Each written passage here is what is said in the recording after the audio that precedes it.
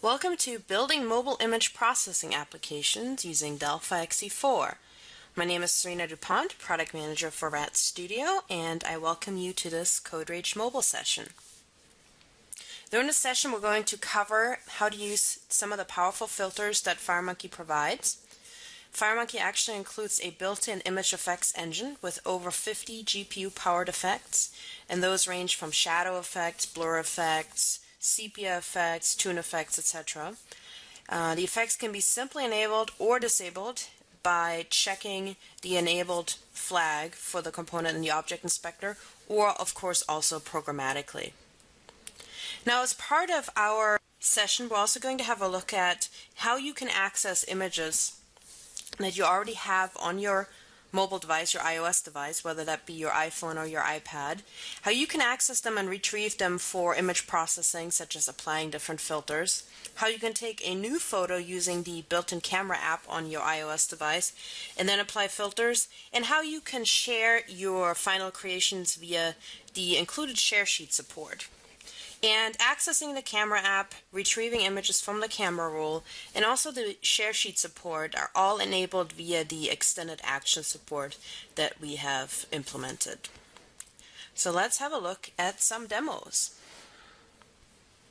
Now to get started, I'm going to create a new mobile application, and then I'm also going to walk you through some of the demos that we ship with the product. Now you can of course create a new mobile application by going to File, New, Mobile Application. You'll see this wizard that I'm showing you here. But I'm just going to create a new project and add it to my existing project group. And then I'm going to drop a button onto my form.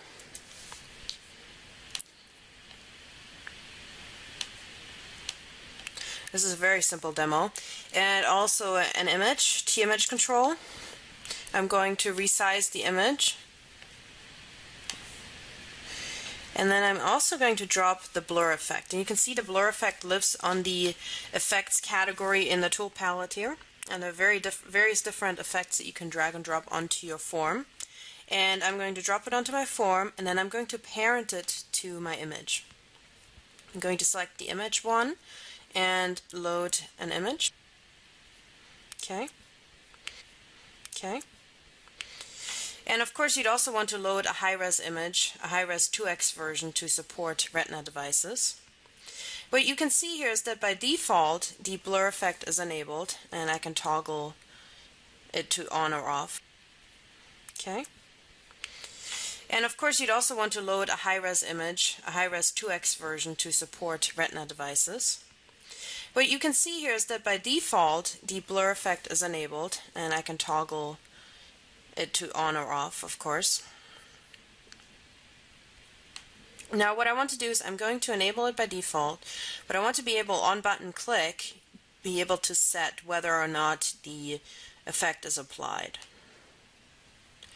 So what I want to do is be able to toggle the blur effect state on or off. And so I'm going to change the text on my button here to say apply effect. Resize the button double click. Blur effect 1 dot enabled. Equals not blur effect 1 dot enabled. Okay now let's have a look at this uh, little demo that we just created and deploy it to the simulator.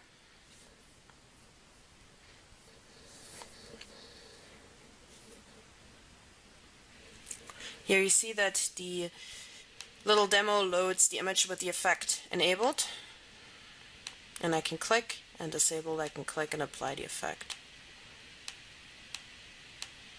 I can of course also change the blur effect and adjust it so I can just select the blur effect here and the softness I could increase this to really blur the image and I can toggle between the different settings here I could choose 0.5, 1, etc. You can fully adjust that depending on how you want the effect to look. Now let's have a look at another sample here. This is the iOS camera code snippet. And this is a real basic example that shows you how to retrieve an image from the camera roll and then display it on a T-image component. And all we have here is we have a toolbar with a parented uh, T-label component. The T-label component has their the style lookup settings set to tool label. We also have a, a button on the form. We also have created an on-click event, and the on-click event is on did finish taking. And in this case, we are assigning to the T image the bitmap that we've pulled from our camera roll. And of course, we also have the action list component.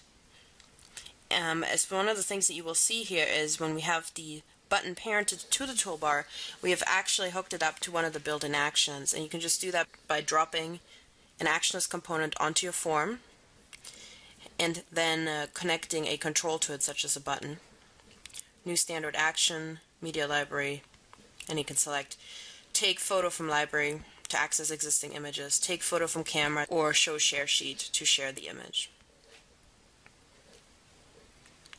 This is another example. This is one of our other code snippets, iOS code snippets. And as you can see here is we have an image that we've preloaded for demo purposes, but this of course could also be blank. We have the take photo functionality. And we also have the share functionality. And what this does is the take photo fu functionality um, uses an action to take an image using the media library action, take photo from camera, and then share uses the show share sheet action. And I can see for take photo we also have on did finish taking. We set up an event for that and that will display the picture that we've taken from the camera and share will actually on before execute will take the image that is shown on the T image that's displayed and share that. And what that means is if for example you have your Facebook account information saved on your iOS device in the iOS settings dialog or your Twitter account you're then able to share the image. Let's have a look at uh, effect filters demo.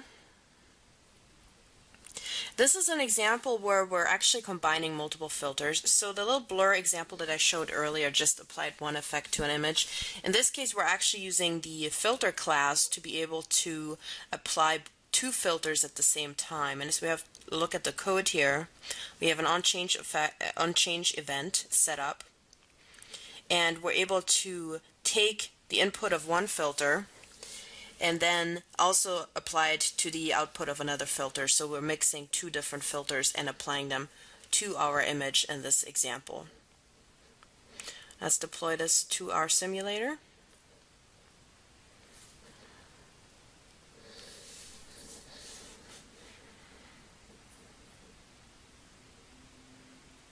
And here you see we have our base image and then below we have the image with the filters applied and you can see this is actually blending the two filters and combining them.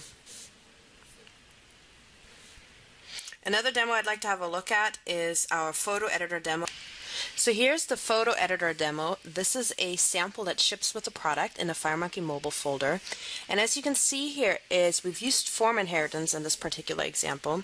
So we have our base form and then we have our two inherited forms, our iPad form and we also have our iPhone form.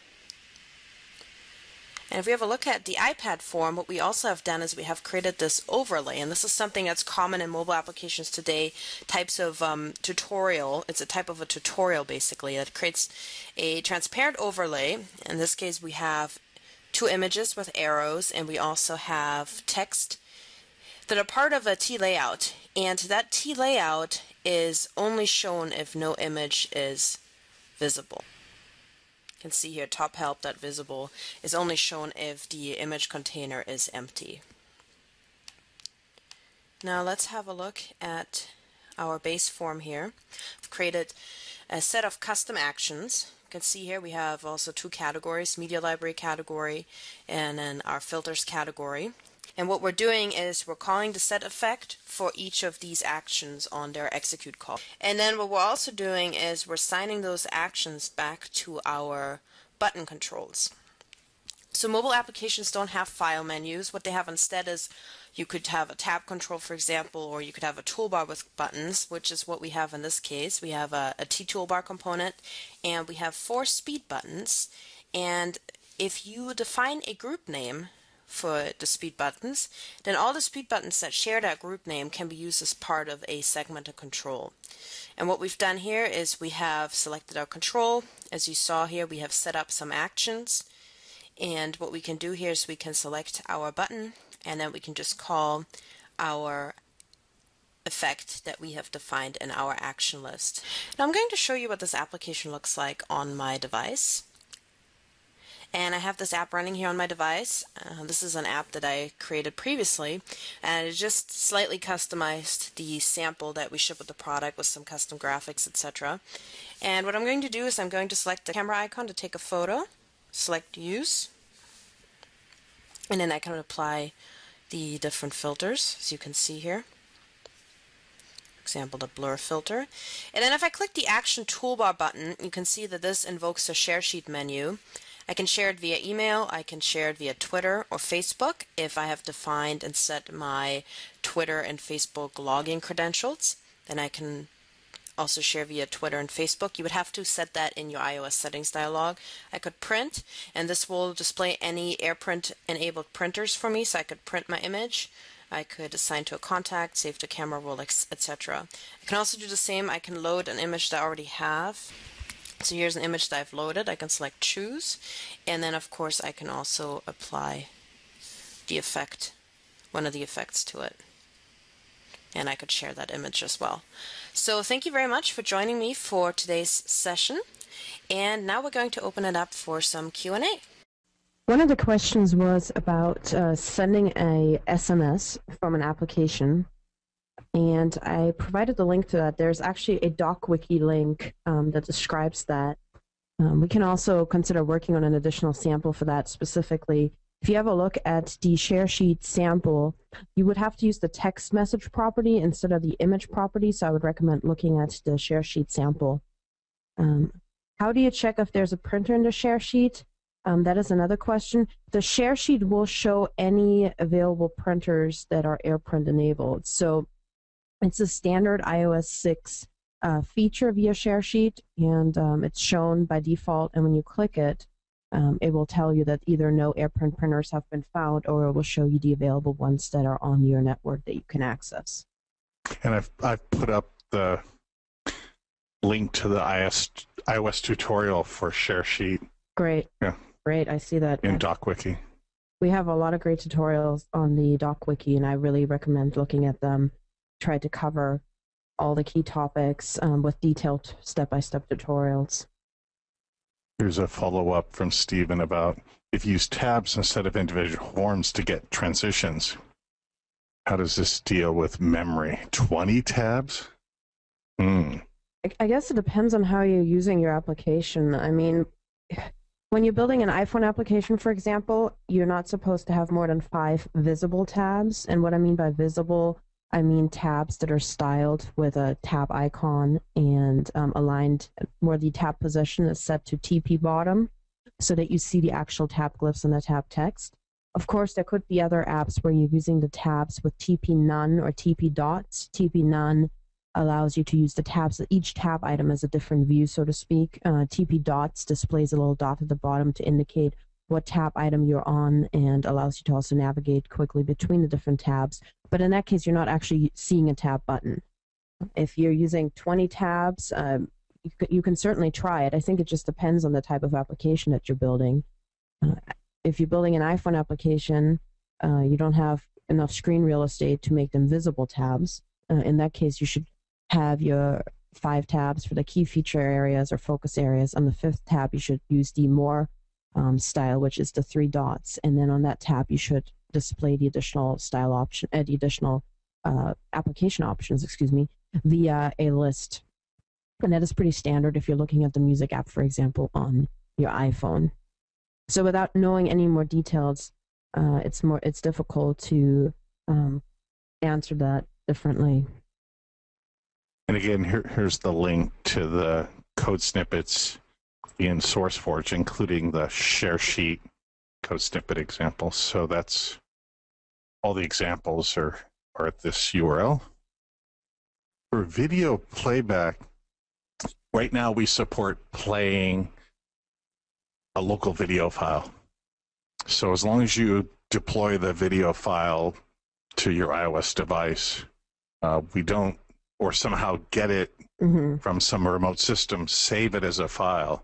You can play it. We don't we don't support streaming protocols currently, right? For for T Media Player. Yeah, team. There is a media player example that you can look at, but it's for um audio files. So we have a media player sample that you can look at in a FireMonkey fo- mobile folder, and um, that will actually get the music clips that you have, let's say, in your music directory, and display them for you for playback. But that is for audio files. So that's again under.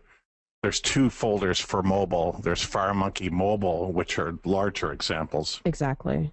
And then iOS code snippets, correct? Code snippets. Yeah. And all of those are actually get installed with the product there in documents, public documents, Embarcadero RAD Studio 11.0. But I do highly recommend um, going to our SourceForge directory. You've seen a lot of different demos um, the last couple days, and also in the uh, webinar that I did last week, and also previous webinars. And we do try to get them all up on the SourceForge directory. So that's really the best way to access all the latest samples. And Chris was asking if he could apply filters to video in real time, and I said not currently. Filters are for images right now. Yes, that's correct. Other than if you want to do something in your own code to a, you know, a video file and then play that video file, but but we don't do anything for video that way. Stephen followed up again. He just has a lot of forms to show. You can slide them in, or you can have them appear. Yeah, I mean, you could you could just show the form at the time that you need to show it, um, or you could use tabs and have um, all your content on one form. I think it really depends on what you what kind of application you're building. And then he's saying he doesn't want to run out of memory. Well, you can create forms dynamically and destroy them. You don't have to have FMX form files in your project. Correct. So, and Danny adds a comment saying the sample folder after install can be easily. Oh yeah, he's talking about the right mouse click the sample folder in the install and, do an SVN update. Yeah, that's actually a great um, a great comment. Yeah. Thank you, Daniel. This, he's talking about you know you can use a tool like uh, Tortoise, for example, via the File Explorer on Windows to um, update the sample folder, and then we'll pull down the latest samples and any additional ones that we have. So thank you very much. That's a great comment. Chris is asking about video on 3D plane. No, video is still in the HD or 2D world. Uh, you can always have 3D and 2D on the same if you have a HD form with a 3D viewport and to play the video, show the video in the 2D section. So if you're like had a 3D view of the solar system planets running around, and you Sure. click on one and you want to play some video, you'd play that in the 2D space or layout or layer. There was that again the printer testing. There is a T printer class in addition for all uh, the platforms. Yes, but on iOS, the, the common way is to print via AirPrint, and that's actually in iOS. The way printing works on iOS in general, that's the common way to print. And the easiest way to do that is implemented via ShareSheet, which is also the standard implementation on iOS in general if you're looking at iOS apps. I'm betting if I asked Anders, there's probably an iOS API to see if there's a printer connected somehow to Yeah. your device. Is Anders going to be coming back today? He's doing two sessions, sessions? but he's he's in the air on the way to Boston, so we'll see when he lands what the timing might be. Okay. Okay. So Sarina, thank you very much for coming back in again, both two days at Code Rage. Great. Thank you very much for having me. I hope you enjoyed the session and uh, more great sessions to come today.